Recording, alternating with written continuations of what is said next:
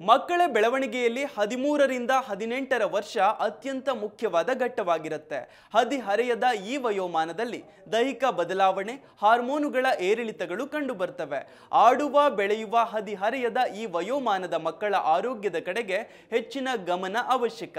ಈ ವಯಸ್ಸಿನಲ್ಲಿ ಸೂಕ್ತ ಪೋಷಣೆ ಸಿಕ್ಕರಷ್ಟೇ ಬೆಳವಣಿಗೆ ಅತ್ಯುತ್ತಮವಾಗಿರುತ್ತೆ. ಈ ಹಿನ್ನೆಲೆ ಟೀನೇಜ್ ಮಕ್ಕಳ ಆರೋಗ್ಯ ವೃದ್ಧಿಗೆ ಬೆಂಬಲಿಸುವ ಆಹಾರ ಕ್ರಮ, ಜೀವನ ಶೈಲಿಯ ಬಗ್ಗೆ ಇಲ್ಲಿದೆ ಮಾಹಿತಿ.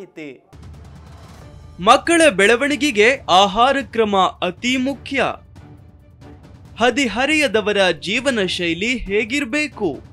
ಮಕ್ಕಳ ಬೆಳವಣಿಗೆಯಲ್ಲಿ ಹದಿಮೂರರಿಂದ ಹದಿನೆಂಟರ ಅವಧಿಯ ವರ್ಷ ಅತ್ಯಂತ ಮುಖ್ಯವಾದ ಘಟ್ಟವಾಗಿದೆ. ಇದು ಹದಿಹರೆಯದ ವಯಸ್ಸಾಗಿದ್ದು, ಈ ಘಟ್ಟದಲ್ಲಿ ದೈಹಿಕ ಬದಲಾವಣೆ, ಹಾರ್ಮೋನುಗಳ ಏರಿಳಿತಗಳು ಕಂಡುಬರ್ತವೆ. ಈ ಘಟ್ಟದಲ್ಲಿ ಮಕ್ಕಳ ದೇಹ ಆರೋಗ್ಯವಾಗಿರೋದು ಬಹಳ ಮುಖ್ಯ. ಯಾಕಂದ್ರೆ ಮಕ್ಕಳು ಆರೋಗ್ಯವಾಗಿದ್ರೆ ಮಾತ್ರ ದೇಹದ ಬೆಳವಣಿಗೆ ಕೂಡ ಉತ್ತಮವಾಗಿರುತ್ತೆ. ಆರೋಗ್ಯಕರ ದೇಹಕ್ಕಾಗಿ ಆರೋಗ್ಯಕರ ಆಹಾರ ಸೇವನೆ ಉತ್ತಮ ರೀತಿಯ ಜೀವನ ಶೈಲಿ ಪಾಲಿಸೋದು ಅತ್ಯಗತ್ಯವಾಗಿದೆ. ಸಮತೋಲಿತ ಆಹಾರ ವ್ಯಾಯಾಮ ದೇಹದ ಆಂತರಿಕ ಅಗತ್ಯವನ್ನು ಪೂರೈಸುತ್ತೆ. ದೇಹದ ಹೊರ ಭಾಗಗಳಿಗೆ ಪ್ರಯೋಜನ ನೀಡುತ್ತೆ. ಆದರೆ ಇತ್ತೀಚಿನ ದಿನಗಳಲ್ಲಿ ಮಕ್ಕಳ ಆಹಾರ ಕ್ರಮ ಹಾಗೂ ಜೀವನ ಶೈಲಿ ತದ್ವಿರುದ್ಧವಾಗಿ ಹೋಗಿದೆ.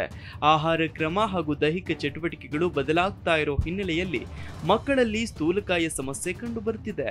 ಅಲ್ಲದೆ ಹದಿಹರೆಯದ ವಯಸ್ಸಿನಲ್ಲೇ ಮಧುಮೇಹ, ಅಧಿಕ ರಕ್ತದೊತ್ತಡ ಸಮಸ್ಯೆಗಳು ಕೂಡ ಎದುರಾಗ್ತಿವೆ.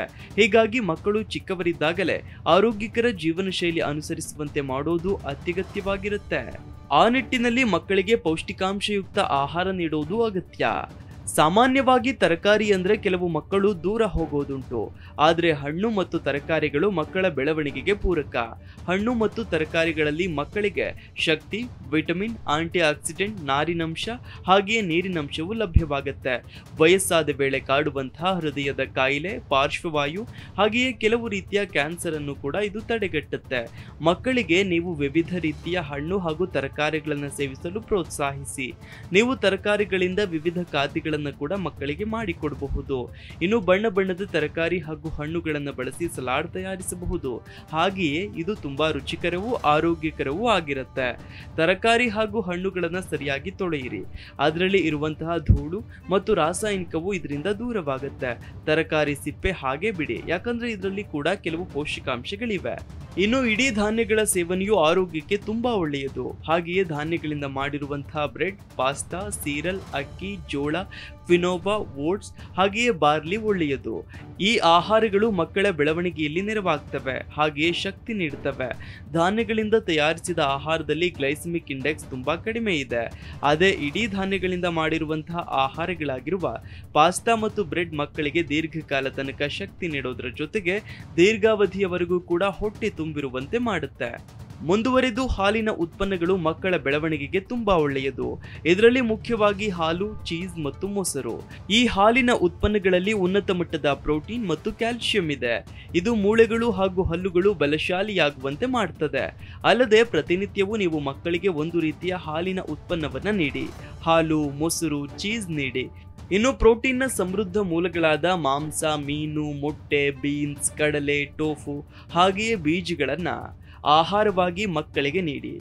ಇದು ಮಕ್ಕಳ ಬೆಳವಣಿಗೆ ಮತ್ತು ಸ್ನಾಯುಗಳ ಬೆಳವಣಿಗೆಗೆ ತುಂಬಾ ನೆರವಾಗಲಿದೆ. ಈ ಆಹಾರದಲ್ಲಿ ಕೂಡ ಉತ್ತಮ ಮಟ್ಟದ ವಿಟಮಿನ್ಗಳು ಹಾಗೂ ಖನಿಜಾಂಶಗಳಾದಂತಹ ಸತು, ಕಬ್ಬಿಣಾಂಶ, vitamin B twelve, omega three ಕೊಬ್ಬಿನಾಮ್ಲವಿದೆ. Omega three ಕೊಬ್ಬಿನಾಮ್ಲ ಹಾಗೆಯೇ ಕಬ್ಬಿಣಾಂಶವು ಕೆಂಪು ಮಾಂಸ ಮತ್ತು ಎಣ್ಣೆಯುಕ್ತ ಮೀನಿನಲ್ಲಿ ಕಂಡುಬರುತ್ತೆ. ಇನ್ನು ಬಹುಮುಖ್ಯವಾಗಿ ನೀರು. ನೀರು ಅತ್ಯುತ್ತಮ ಆರೋಗ್ಯಕಾರಿ ಪಾನೀಯ.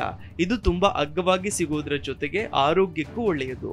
ಹಾಗಾಗಿ ಮಕ್ಕಳು ಯಥೇಚ್ಛವಾಗಿ ಅಗತ್ಯ ಪ್ರಮಾಣದಲ್ಲಿ ನೀರಿನ ಸೇವನೆ ಮಾಡಬೇಕು. ಇನ್ನು ವ್ಯಾಯಾಮ ಮತ್ತು ದೈಹಿಕ ಚಟುವಟಿಕೆಗಳು ವಯಸ್ಕರಿಗೆ ಮತ್ತು ಹಿರಿಯರಷ್ಟೇ ಮಾಡೋದಲ್ಲ.